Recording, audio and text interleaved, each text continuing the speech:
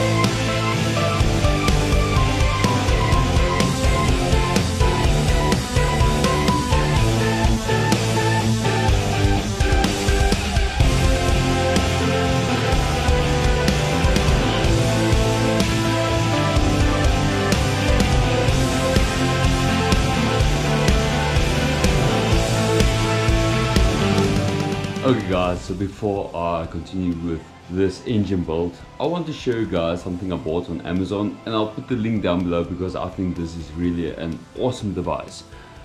So this is a digital torque adapter. So it works like a torque wrench. You can just preset all your settings on this. So this device is pretty awesome, it's very cheap and I'll put the link down in the description.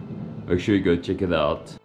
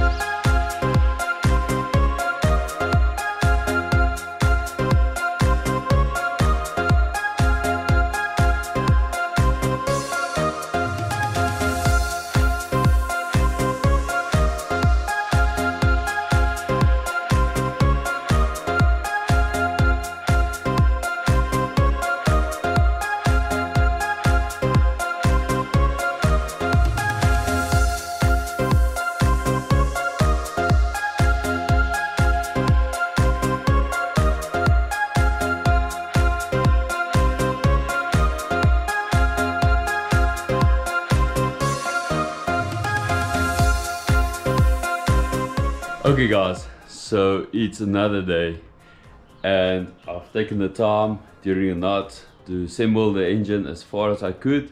I'm still waiting for one or two parts, but this doesn't stop me from putting this engine back into the Jeep.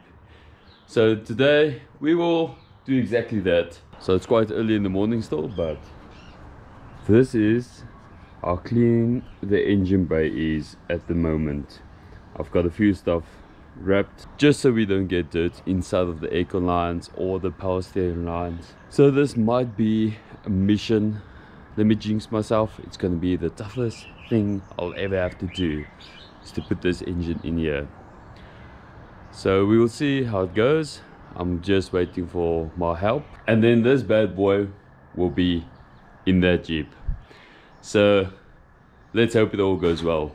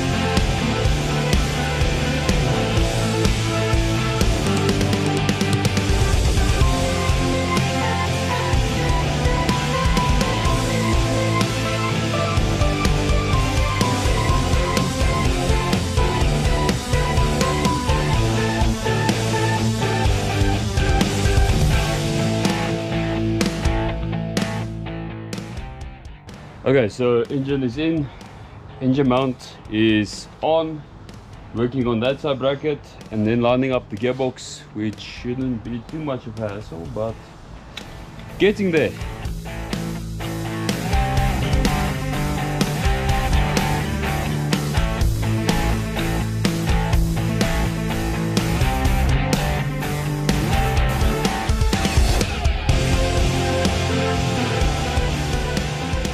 Okay guys, so that was actually pretty easy. Um, I think the waist and that balancer really helped to get this engine in here. So all I've left to do is now all these bolts holding on the gearbox. The gearbox is lined up perfectly, so I'm happy. So this is the only schlep I've got left to do. So this is going well. So as well as this install went, I hope this engine is going to run the same. Anyways guys, um, if you made it this far in the video, please remember to hit the subscribe button and the like button so far let's get back to fastening the gearbox and then take it from there.